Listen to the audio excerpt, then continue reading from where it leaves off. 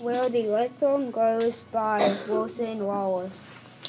Bill, Billy got his hunting dogs and made them into two hounds. After about three weeks, they went on their first hunt together. Later that night, his dogs went wind tree, treed and put a coon in the big tree. He made a promise that if they put one in a tree, he would do the rest.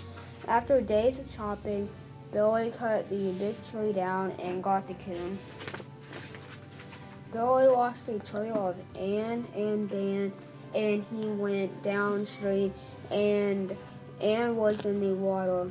Without thinking, I made a hook and tried to get in.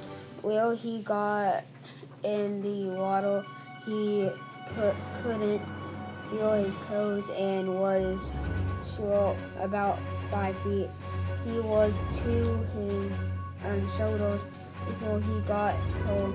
After she was safe, Billy cried a little about what happened. Billy, Papa, and the judge got stuck in a blizzard and lost Ann and Dan in it too.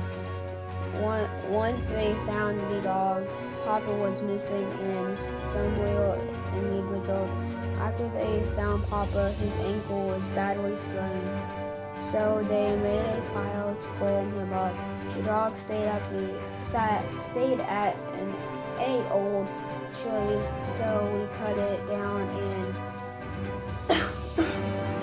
there were three coons and, and we got two of the three.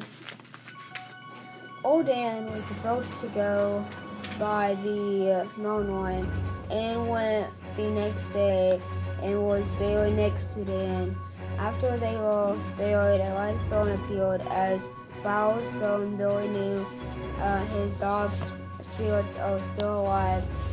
Um, Dan and Ann are still hunting where they are now.